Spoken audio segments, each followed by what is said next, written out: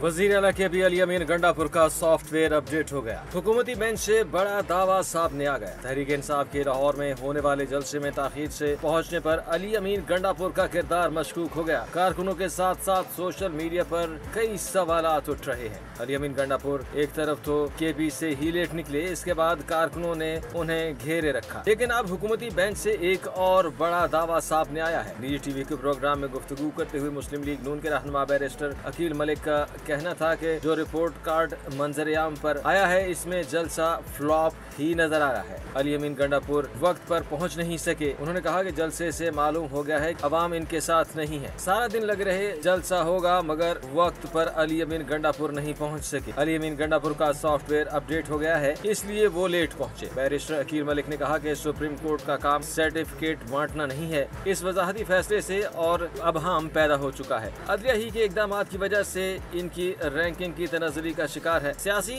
और आयनी केसेज को जल्द नहीं निपटाया जा रहा लेकिन अवामी केसेज में तखिर होती है मौलाना फजल रहमान के आयनी तरामीम में साथ न चलने के सवाल पर रहनमा मुस्लिम लीग नून ने कहा कि मौलाना फजल रहमान ने हमें इनकार नहीं किया जबकि चीफ जस्टिस के सवाल पर उनका कहना था कि मेरे ख्याल से अगले चीफ जस्टिस मंसूर अली शाह ही होंगे क्योंकि वो सीनियर तरीन जज हैं